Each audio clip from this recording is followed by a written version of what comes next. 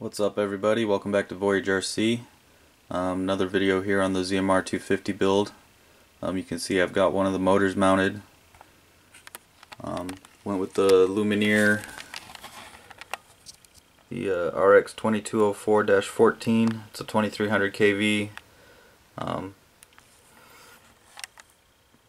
should be a pretty solid motor. Um,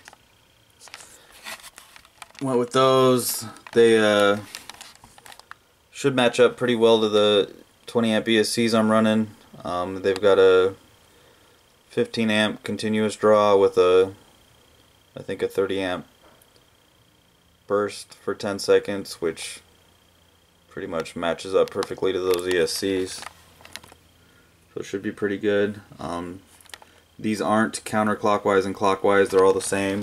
So they've got the locking lock nuts that uh, come on them to lock down your props. Um, you can see here I've got one mounted up. I uh, bored out that one hole a little bigger so I could fit the wires through and run them underneath. Um, I haven't reheat shrink the bullets yet, that's why they're exposed. But I shorten the wires and then reattach the bullets. Um, so I'm going to be running those. I haven't strapped them up so they're sagging a little bit, but I'm going to be running them underneath like that to clean up the build, make it look a little cleaner. Um, mount up pretty well.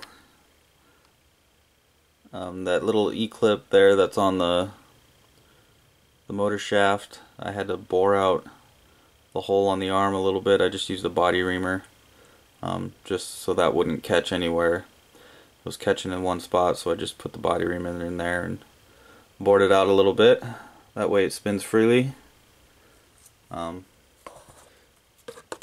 but yeah those are the motors I'm running.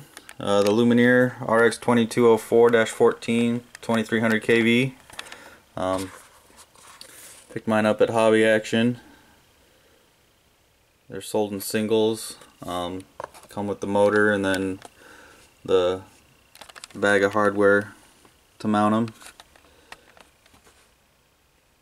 So yeah, they should be good motors. Uh, I'll probably be running 545 bullnose props on 4 cell. These are rated 2S to 4S, so it should handle those 4 cells no problem.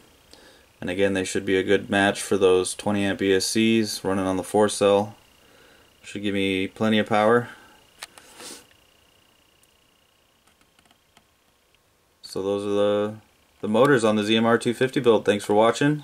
Subscribe if you haven't already, and we'll see you next time.